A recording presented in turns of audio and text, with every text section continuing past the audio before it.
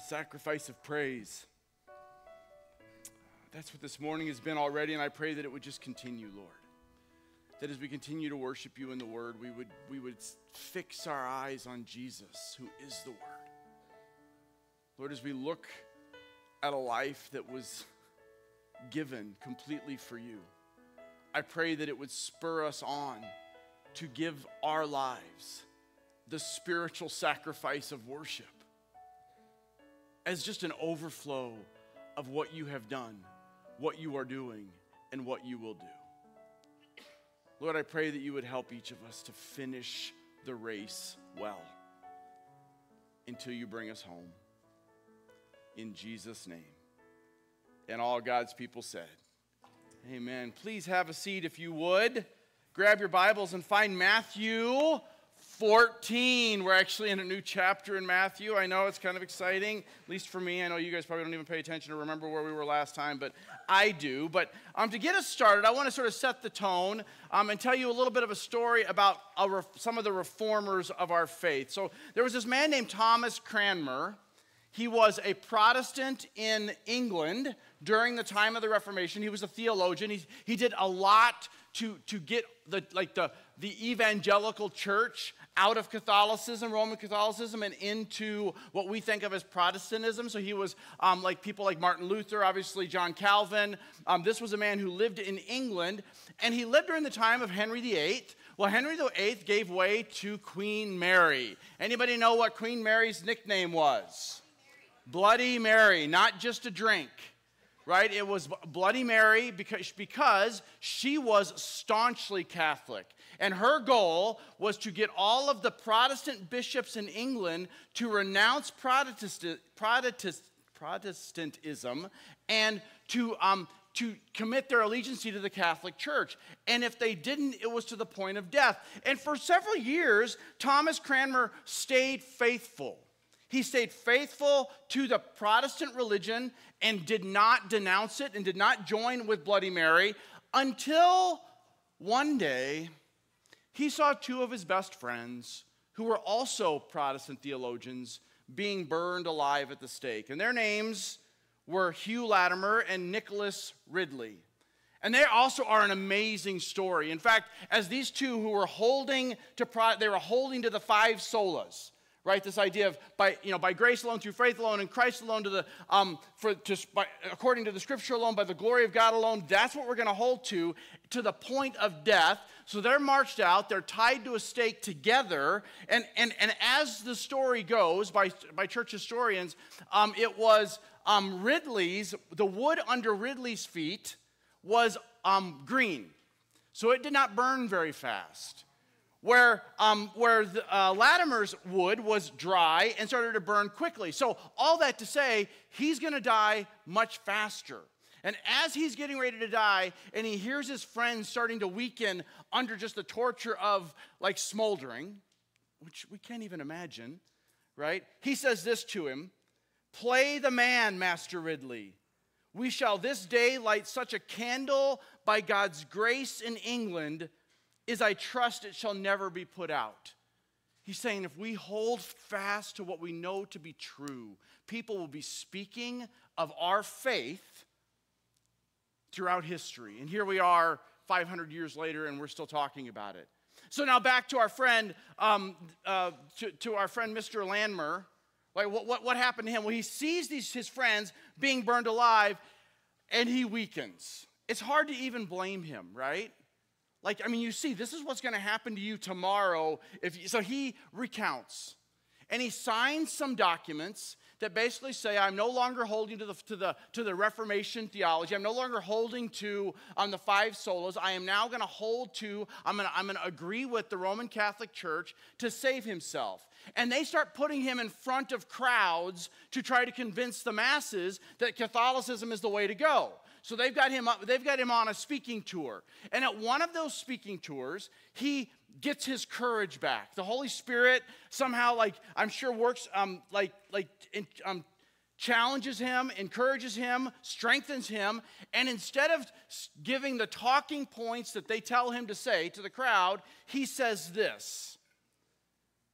And now I come to the great thing which so much troubleth my conscience, more than anything that I ever did or said in my whole life, and that is the setting abroad of a writing contrary to the truth, which now here I renounce and refuse as things written by my hand, contrary to the truth, which I thought in my heart. So here's what he's saying the, the thing I regret most in my life is going against what I knew to be true about God and His Word.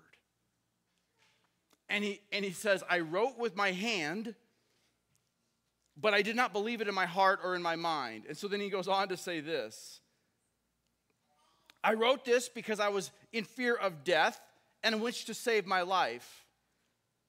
However, it was my hand that offendeth, writing contrary to my heart. Therefore, my hand shall be first to be punished. When I come to the fire, it shall be the first to burn. Now, what's he saying? He's saying that ultimately he is going to stand for the truth in his heart and in his mind by denouncing his flesh. And Foxe's Book of the Martyrs actually records his death as saying when they tied him to the stake, he actually, and, and they lit the fire, he actually stuck his hand into his right hand into the fire to demonstrate to the people that, that what I wrote really was wrong and I regret it. Now, now, okay, so, so what? Like, what does that have to do with anything? Well, here's what it has to do with, guys. Like, do, do we understand that contrary to the prosperity gospel, that contrary to, frankly, the easy believism that has been the Christian church in America for 250 years, frankly, because we have been like, like no other people on the planet ever. We have been blessed to live in a country that does not persecute Christians.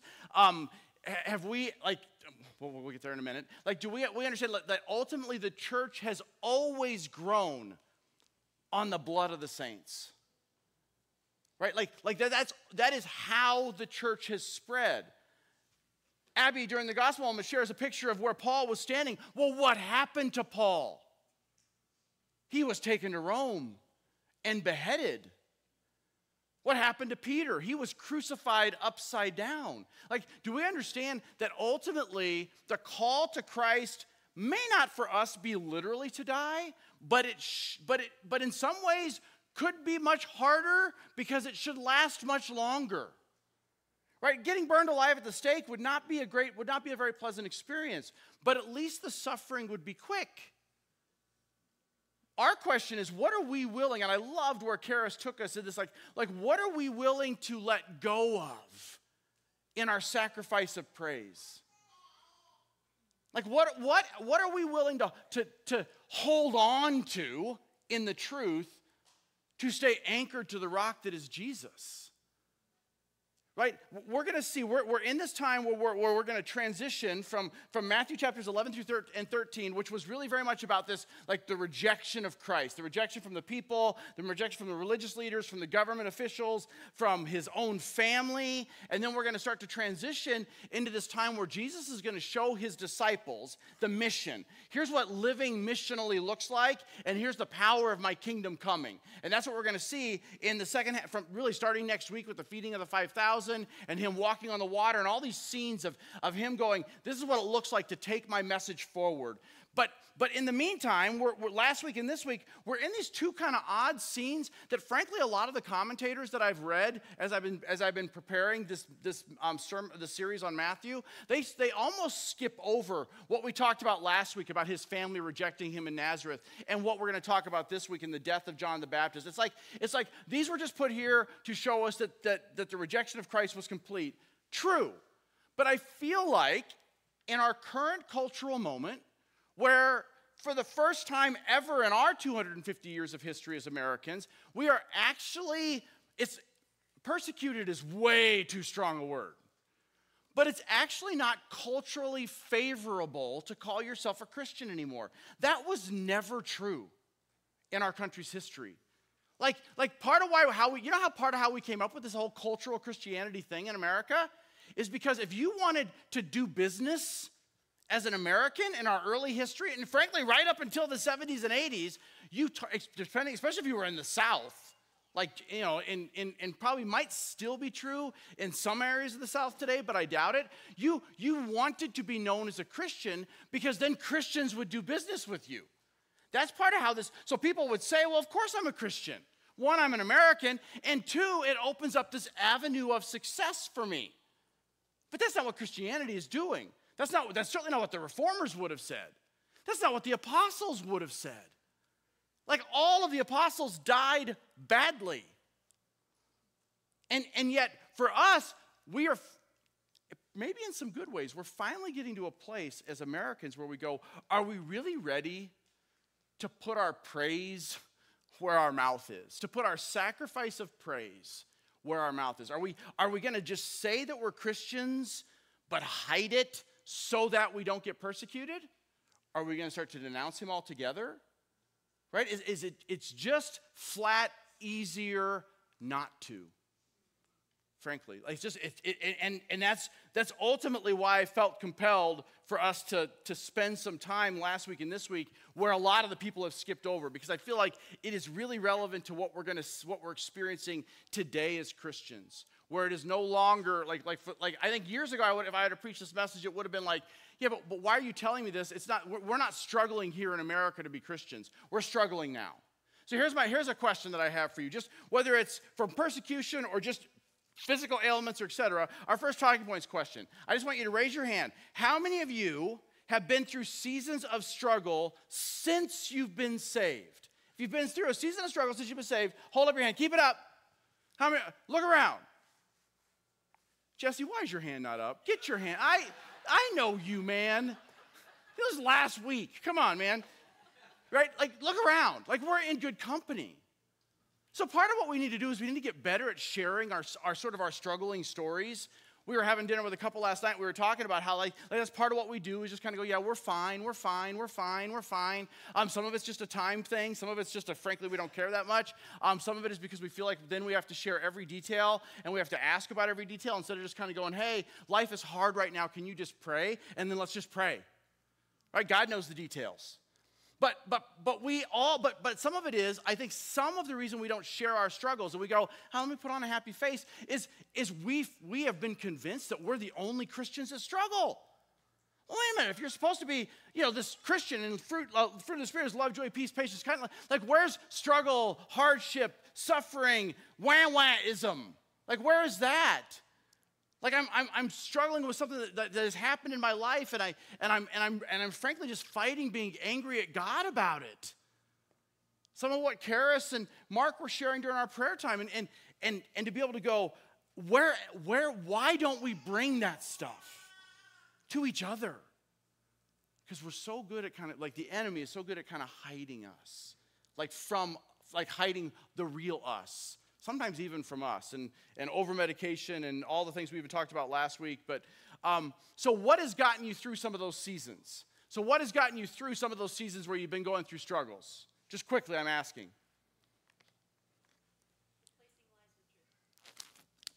Okay, replacing lies with truth. And we're going to come back to that one here um, as part of the message today, because that's part of what we're going to see happen is a whole lot of lies and a little bit of truth that can go a long way. Good. What else? Fellowship of the saints. They're just coming together, man. Like, like guys, I, like again this morning, I was moved to tears just in hearing your voices as you're singing. I'm like, man, like my soul needs to be reminded that I'm not nuts, right? That we're not alone in this. That like there are people that, that are that are that are desiring to set aside the distractions of this world and and praise Jesus because he's worth it. Any others? Just keep pressing forward. Yeah, forgetting what lies behind. Paul in Philippians chapter 3. Forgetting what lies behind and reaching forward to what lies ahead. I press on. Like Paul writes that as he's imprisoned. This is towards the end of his life. And he's going, I'm, my, my fight is still press forward, press forward, press forward. Right? Like we sooner or later we have to just trust that Jesus has dealt with our past and move on. Right? In the victory that he has assured us. So like I said, we're in this series we're in this season of transitioning from this time of of Jesus' rejection, like the rejection of Christ, um, to this time of Jesus is going to show us his mission, and he wants to show us like what is it what does it look like to really be faithful like to the utmost. And so when I say when I say he, I'm saying Matthew. So Matthew inserts this scene that is about John the Baptist. So the so today's message is called faithful to the end, or faithful, like I would call it like faithful to the utmost, or faithful unto death, like being able, like giving everything you have for the sake of the gospel. And that's ultimately what we're gonna see is this is this scene. He's gonna insert a scene that happened earlier in time. It doesn't happen at this period of time. He's going to insert this scene of John's life because John was a forerunner. He was Jesus' earthly cousin, a forerunner of Christ. He was the one who came to prepare the way for the Lord. He was the one that started his ministry with, Repent, for the kingdom of heaven is at hand. And Jesus did the same thing when he started. He's the one who said things like, He must increase but I must decrease. And we're going to see this scene of like this is decrease at the massive, at, at, the, at the final level of decrease, which is decrease to the point of death. And so he's going so he's going to show us what I love how Warren Wiersbe says it this way. John the Baptist was a living beatitude. You remember the Beatitudes? Blessed are the poor in spirit, blessed are the merciful, blessed are the pure in heart. He says, He was poor in spirit, He was meek, He was merciful, He was pure in heart, and He mourned over the sins of God's people. He brought the message of peace and reconciliation with God for those who repent. He hungered and thirsted for righteousness. He was persecuted for righteousness' sake. He died for standing on the truth. And, and ultimately, what Matthew's trying to show us is, but he's like, before we launch into here's what the mission looks like, are you really ready for this? Are you really ready to be forsaken by all and persecuted by many? Like, that's ultimately the point he's trying to make here. So the question becomes for us today is when life gets hard, how are you going to remain faithful? When life gets hard, how are you going to remain faithful? And we're looking at the first um, I probably should turn there. We're looking at the first 12 verses of Matthew chapter 14. And we're going to talk about how, um, the, how do we do that? Well, we don't create a false narrative. Like, we don't create stories. We're going to see that in a minute. Um, we don't get callous. Don't let your heart get hard by, by all the sin and, and brokenness of the world. And the last thing is we don't carry our burdens alone. So we're going we're going to learn these truths, some through the life of John the Baptist and his disciples, but mostly through looking at the one who killed him. So John is or so Matthew's going to show us a little bit about what made Herod Herod. And so we're going to we're going to learn some lessons from a madman on what not to do. So, what, when, when life gets hard, how do you remain faithful? The first thing you do is you don't create a false narrative. So, what does that mean? What does a false narrative mean? Well, let's look at um, the first couple of verses of John or of Matthew 14. He says, "At that time, Herod the Tetrarch heard about the fame of Jesus. Now, this is not Herod the Great. Herod the Great is the one that had the babies killed in Bethlehem. This is one of Herod's sons. When Herod died, his kingdom was divided, or, or his control of that part of the Roman kingdom was divided into four parts. That's why he's called the Tetrarch. It just means four. So this is one of them. This is, um, this is Herod Antipas. He is the one that is, that is alive during the crucifixion of Christ.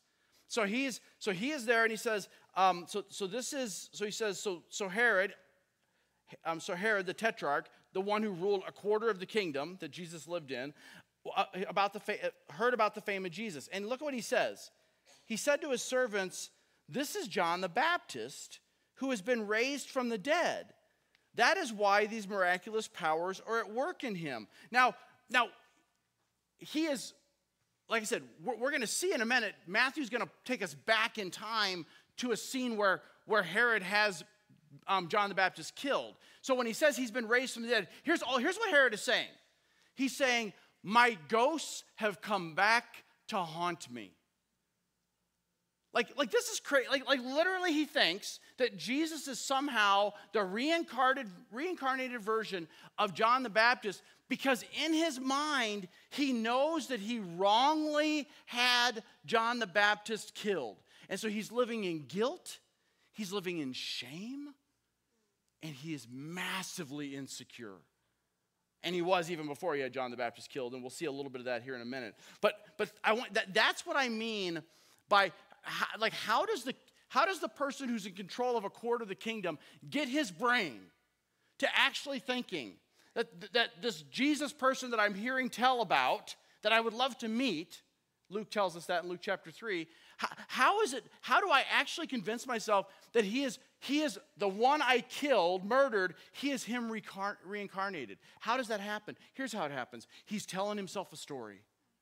What he's doing is he's saying that from the time, when however long it was, from the time that he actually had John executed till now, he has been telling himself a story, and it hasn't been a good one.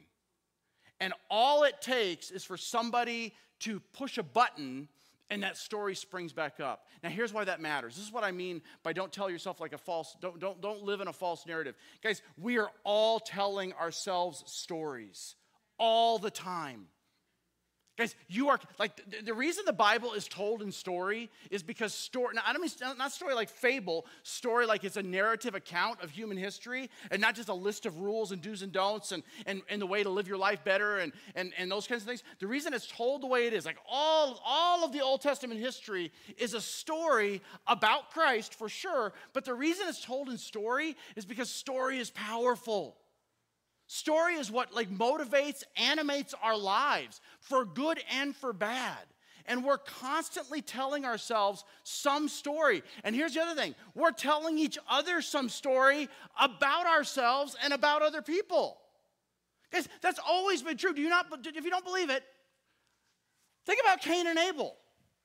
Like all the way, so Adam and Eve, they sin. They, they told themselves a massive, stupid story. They, by, they, they, they fall, they, they rebel. Now think about their first kids. What, how, why does Cain kill Abel?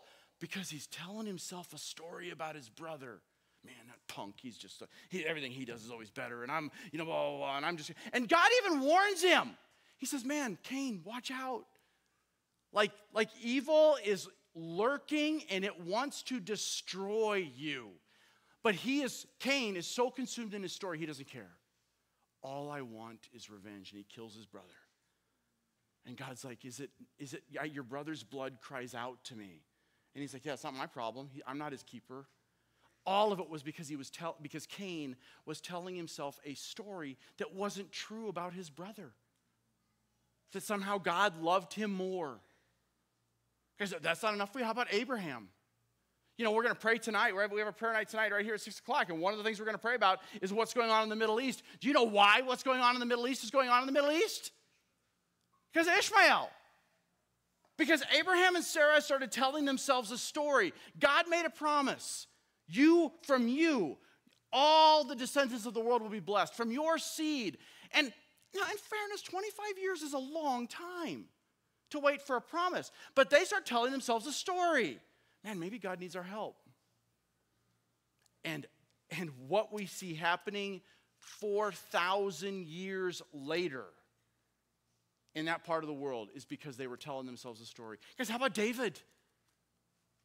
David, the man after God's own heart, probably the closest thing you get to of a Christ figure in the Old Testament.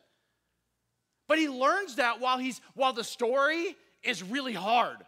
He's being chased by a madman. Like, this is his reality. He's not telling himself a lie. He gets on the throne and he gets fat, dumb, and happy. And all of a sudden, his story changes. And you know what his story changed to? 2 Samuel chapter 11. In the year, in the season when kings go out to fight, David stayed home. And the rest is history. Bathsheba, baby dies, because that's not just the end of that part of the story. Like his whole family was a train wreck from then on. Why? Because he told himself a story. Man, I deserve to sit this one out. I've put up with years of being rate chased. I've, I've done so, like, I, it's not a big deal. I'm just going to sit this one out. I'm not going to do what God's called me to do, what God's wired me to do, what God's made me do. That's the story he should have been living in. But he's like, no, I, the story I'm going to tell myself is I deserve this. And it destroyed his life. Like, literally destroyed his life for the rest of his life. Guys, here's the thing. You are telling yourself a story, other people are telling you a story, and, and we're telling stories about one another. All the time. We are, we are a bunch of Cains looking at a bunch of Abels going, oh, well, the reason they behave, the reason those people behave this way is because of this or that, or because they believe this, or they don't, or they don't, um, or they don't know that, or, or they don't look like me, or they don't vote like me, or they don't act like me, or they don't, whatever it, like whatever it is. We tell that story about our spouses. We tell that story about our brothers and sisters. We tell that story, we tell, we tell stories to ourselves about other people in our heads all the time. And guys, here's why it matters. Because the story you're telling yourself now is impacting your future. Like the voice in your head that you're telling yourself is, I'm, I'm, I'm, not, we're not a name it and claim it. I'm not saying that. We're not self fulfilling prophecy in the sense that just because I think it, it's going to happen. But there is a part of it when we go, what we expect to happen sometimes happens because we subconsciously make it happen. If I've been telling a story about how Eli is my enemy, I'm picking him because he's just such a sweet kid, right? Mean, he's not a kid, but you know what I mean. So I'm picking him. Plus, he's wearing a flower shirt, so he's easy to pick out. So I tell a story, and I'm and over and over I'm telling the story about Eli being my enemy. When Eli comes up to me at church on Sunday, he's like, "Hey, how you doing today?" What is my countenance going to be towards him? Cold, aloof, at best, a little bit like, "Hey, jerk, get away from me." Right? What's that ultimately going to make him? My enemy. Like he's going to go, man, Doug does not like me. Doug's got a problem with me. I need to stay away from Doug. My story impacted him and affected my future. That's the reality. So the question starts to become what story are we living in? Herod was living in a completely messed up story because he was a completely messed up dude. And so rather than see Jesus for who he is, he starts making up some completely whacked out theology. Reincarnated? To come and, and, and somehow like, like mess with me? Guys, that's just how powerful story is. So, what's the solution? Here's the solution we got to tell ourselves the true story. We got to tell ourselves the gospel story.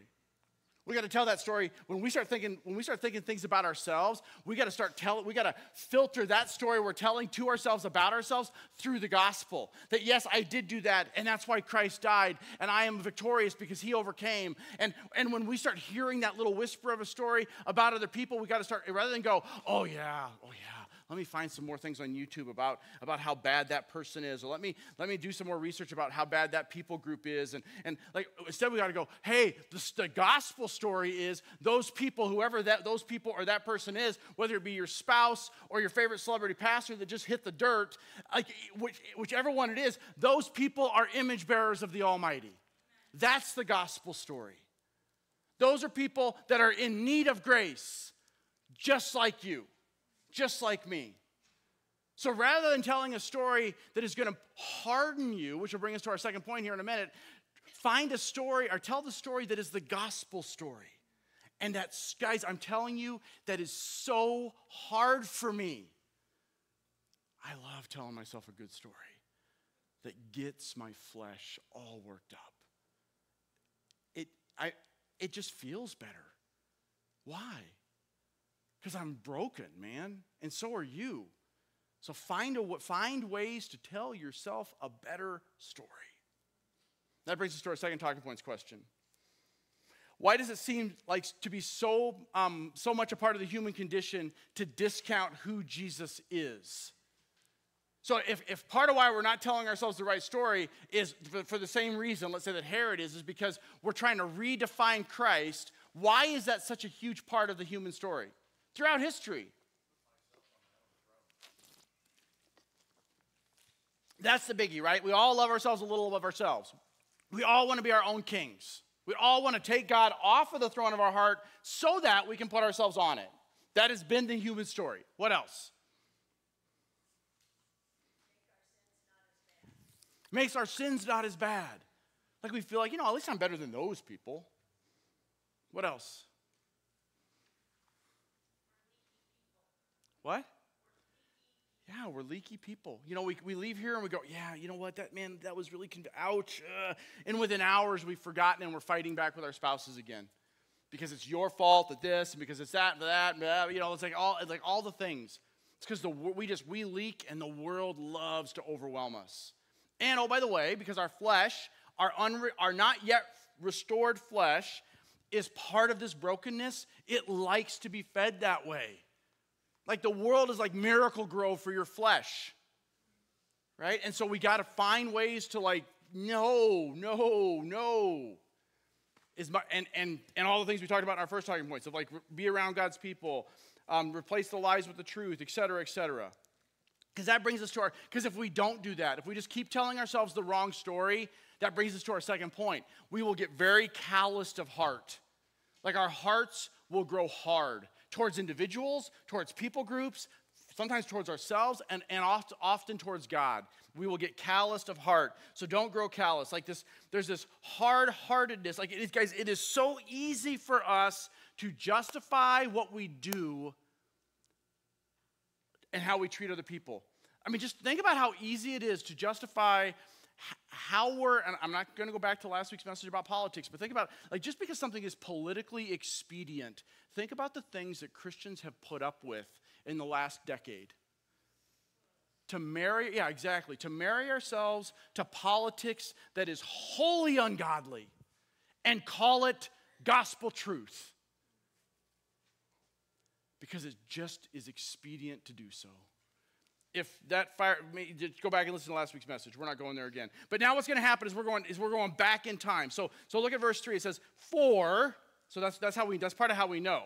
So we're like okay. So so so Herod is freaking out.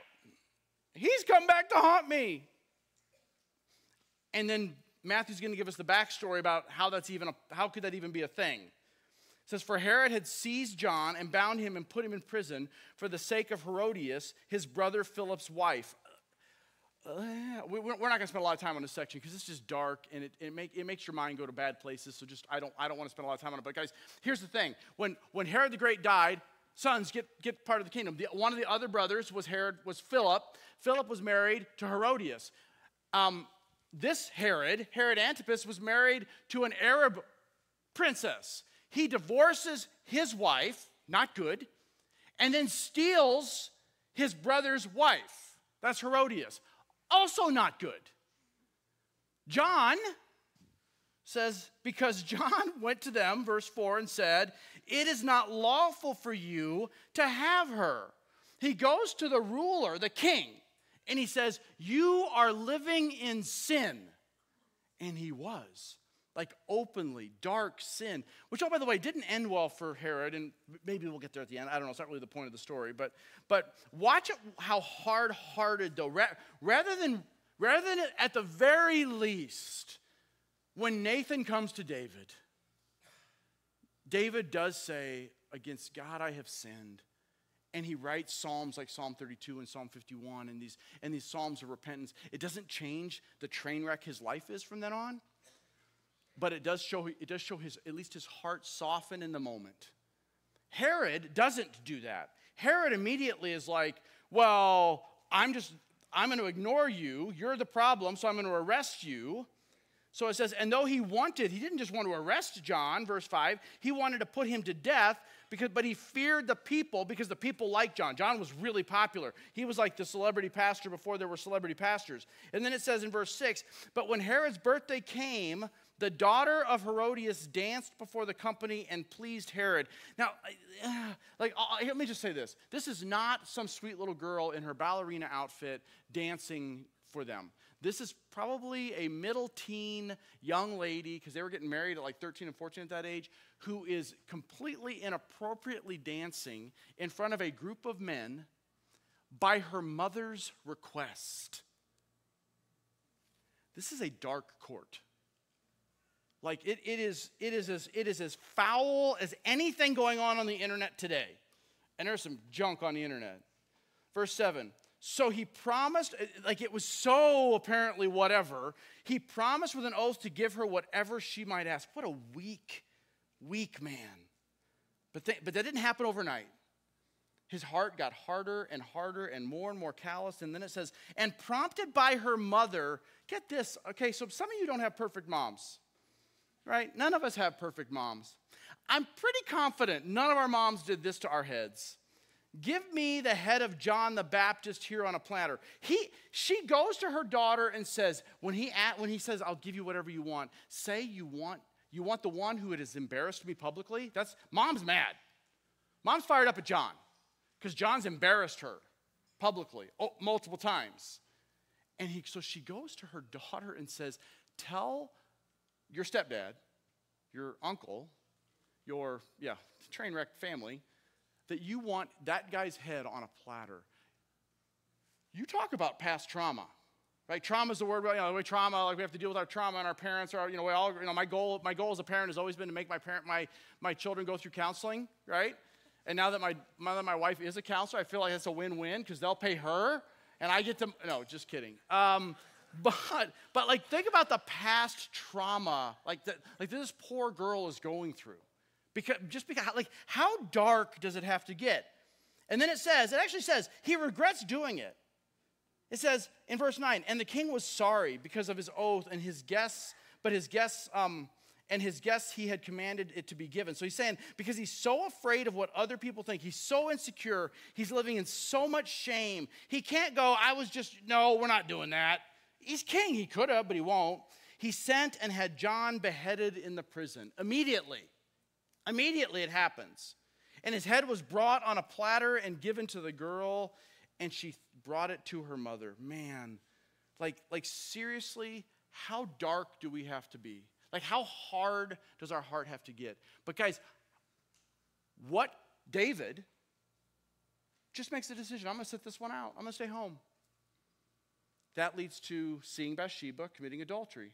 That leads to murdering her husband. That leads to actually telling one of his, putting one of his generals in a compromising position. That leads to one of his generals then constantly blackmailing David for the rest of his life. That leads to one of David's other children raping another one of David's children, which then another one of David's children kills the one who raped the one, and so on and so on and so on. And, and here's the part about this David, David's heart, a, a man after God's own heart, his heart had gotten so calloused, he did nothing about it. Nothing. Joab's blackmailing him, he does nothing. Absalom's begging him to do something, he does nothing. Because his heart just got that hard. His heart got that calloused. He's like, I'm going to put it off. I'm gonna, not, not this hard, but that hard. Like, it's, it's just how dark we can get. Proverbs 6 says this. Write this verse refer, reference down. Six, Proverbs 6, 6 9 through 19, 16 through 19 says, There are six things the Lord hates, seven that are an abomination to him haughty eyes, a lying tongue, hands that shed innocent blood, a heart that devises wicked plans, feet that make haste to run to do evil, a false witness who breathes out lies, and one who sows discord among brothers. Man, Herod is guilty of all of those things. But before we, compl- before we finish, like just lay the axe on him and go, man, Herod is the worst human being that's ever lived, there, but for the grace of God goes I. Right? None of us are beyond that. The minute we say, I could never, we're, we're well on the way to getting there. I've seen that in my own life. I've seen it in the lives of people I've discipled over and over. We, we have got to constantly remember who we are, how it's so easy to become callous towards the things of sin. Like the, the enemy never says, Doug, go from one to what, like to, to murdering your brother who's annoying you. What he does do is he says, start small. Just be a little annoyed. And then it's well, well now like confront him and have some like some conflict, like like you're, now you're actually at physical odds with each other. And then it's like, and as we're moving down that road, that ult, that end game, not not actual murder, but that end game of going, you're dead to me, you're out of my life, is not that big a stretch. That's how the enemy works, one step at a time, callousing our heart. That's why, last talking points question, the company we keep matters so much. That's why the company we keep matters so much. So I'll just answer the question for you. Why? Because it reminds us of what is true and right and lovely and pure. If there's anything excellent and anything worthy of praise, dwell on those things. Philippians 4 8. Right? Like we've got we've got to be renewing and, and, and we could certainly our time in the word, certainly our time in prayer, certainly, but but guys, being being around people this is why Carrie and I were having a conversation on Friday just about how, like, the, one of the scary things about seeing so many people, like, moving away from real relating, real relationships, going to church, coming to prayer night, going to uh, whatever it is, like, just being involved in other people's lives, like, in a real way. out like especially among people that they don't have like it's not it's not just their own little select people group is what i mean like there's so few there's so little of that going on. Be, one of the biggest dangers in that is that is the that kind of relating. The kind of relating that we don't have com- control over. Like in other words if if jesse and corey start getting annoying to me and i feel the freedom to go you know what? I, I can just move away from that relationship. It's no big deal. Then the Lord has, then I'm missing out on whatever it is the Lord is trying to use them to do in my life to conform me into the image of Jesus. But what we've done is we've moved away from so many of those relationships in our lives, and, and, and, and we're either out of relationship altogether because it's all virtual or through devices or whatever, or it's only in select groups that we have control over so that when they do start, so that we can kind of pick and choose the least annoying piece of people possible. All that to say this what's the big deal? Here's the big deal what tools God going to use to make us look like Jesus? If relationship is how it's done, like hard relationships, like difficult relationships, and we and we extricate ourselves from all of those because it's comfortable, and it is. You, I annoy you, you annoy me. It's part of the deal. Praise God. But when we, thank you, sister. But when, but when you get, but when you get, but guys, but when we when we remove ourselves from that, then we start to wonder, like, why am I not growing spiritually? I'll let you know a little secret. It's because you're not in relationships with people that annoy you. Right? You can, I mean, you can listen to all the best, you can listen to the, you can listen to Bible teachers that are infinitely better than me on YouTube, and it will do far less for your soul than showing up on a Sunday and, and having to relate to people before and after church right? That's where we put it really to practice. So here's our last point, and it goes quickly because it's one verse. So when life gets hard, how do we remain faithful? One, we, we got to stop telling ourselves lies and false stories, right? Two, we got to stop, we got to really guard against becoming callous. And the last thing is we don't carry our burden alone. So look at verse 12 of chapter, of chapter 14. It says, And his disciples came and took the body and buried it and they went and told Jesus. I love how Spurgeon says this about that, that one verse. His commentary on that verse was this It is important to notice that it doesn't say they buried John, but John's body. It says the real John was not there. The real John had gone on to greater reward. Now, why does that matter? You say, okay, uh, duh. Obviously, we're Christians, we believe that. But guys, we got to hold on to that. Like, that's the hope we got to hold on to.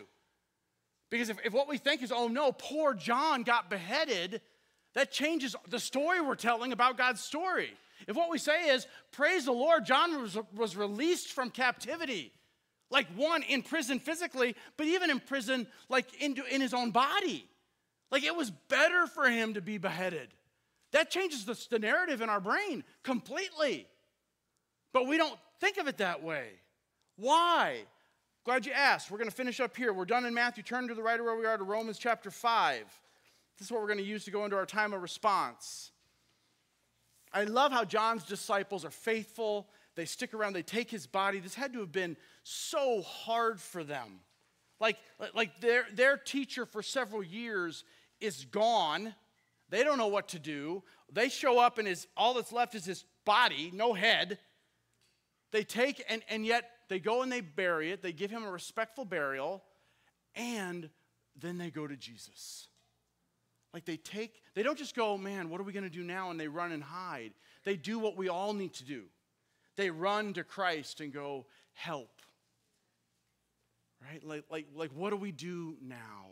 And that's where we're going to pick up the story. They're going to join John or Jesus' disciples and, and keep going forward. But, but why is that? Like, wh- why do we run to Christ? Because the same reason Paul did, the same reason Peter did. Because what Peter tells us in 1 Peter 5 cast your cares on him because he cares for you. That was our opening video. Like, do we really believe that? Do we really go, man, like when I'm feeling anxious, when I'm, when I'm hearing that false story, when my heart's getting hard towards those people, run to Jesus. Run to Jesus because he cares. So in Romans chapter 5, look at verses 3 and 4. It says, not only that, we'll get to what that is in a minute, but we rejoice in our sufferings, knowing that suffering produces endurance, and endurance produces character, and character produces hope. And you're like, wait, what? That doesn't sound very much fun. We rejoice in our sufferings, knowing that suffering produces endurance and endurance produces character. Why should we do that? Why, why should we rejoice in our suffering? Why should we even believe there's hope? Why should we believe what Charles Spurgeon said about John? That it, was, that it wasn't John, it was John's body they buried. Well, because of verses 1 and 2. Therefore, since we have been justified by faith, we have peace with God. Right? The reason we can rejoice in our suffering is because we know that Christ has already done for us what needed to be done, because through him we have obtained access to the faith in this grace in which we stand, and we rejoice in the hope of his glory. Guys, do you get that? We rejoice in the hope of his glory. So, so, where, so, so when it says, and endurance produces character, and character produces hope, why can we believe, why can we do, why can we live that way as Christians? When things are getting hard, when, when life circumstances are getting tough, how do we remain faithful? By knowing that our hope is set in the heavenlies, that it's already been accomplished. Turn to the right where we are, a couple more pages to, to Matthew chapter 8. I'm sorry, to Romans chapter 8. In verse 31. This is the argument Paul is elaborating on. He's pulling the, the Romans 5 argument forward. He's saying, Our hope is set in the heavenlies because Christ has come to bring peace between us and God. There's nothing that can be done to undo that. That's what he's going to tell us right here. And we're just going to, I'm going to read this and we're going to go into our time of, of response. He says in verse 31 of chapter 8 of Romans, it says, When they, What then shall we say of these things? If God is for us, if he has brought us peace, who can be against us? And man, if he did not spare his own son, but gave him up for us, how much more will he give us all things? He's like, this is so much better than just salvation. Like, like I, am saying that on purpose. What Christ has given us is better than just salvation. And that's a pretty big just. Like, that's a massive eternity difference kind of just. And he's telling us, so who can condemn us? More than that, who is raised? Who is it that he's at the if, if Christ has been if Christ died for us, then we're going to be raised. Verse 35, nothing can separate us from the love of Christ. And then just to prove the point, he lists a whole bunch of stuff. Not distress or persecution or famine or nakedness or sword. He's like, verse 38, for I am sure, this is the hope. This is how, this is the answer to the question.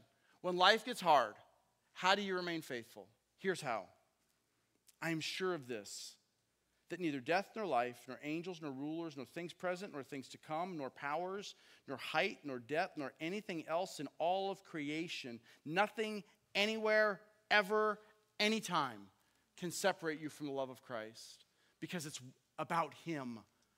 And so, as you come forward to get your cup and go back to your seat, and, and I'll, I'll come back up and I'll lead us through um, like, like that, that victory that we have. I just want to encourage you to, to, to think about the fact that, that the reason we can persevere is because it's not about us, it's about Him and, wh- and who He is and what He's done. Let me pray. Father, I just thank you, Lord, for that truth. I thank you for the truth that, that our perseverance that produces character and character produces hope is because that hope is set in the heavenlies. And it's not just set there, but it's secured there by the blood of the cross. So as we come to your table now, I pray that you would remind us of that beautiful truth. That because of who you are and what you have done, when we come to faith in Christ, we are secure no matter what happens here. In Jesus' name, let us believe that. In Jesus' name, let us live like we believe that. And it's in that beautiful name we pray. Amen.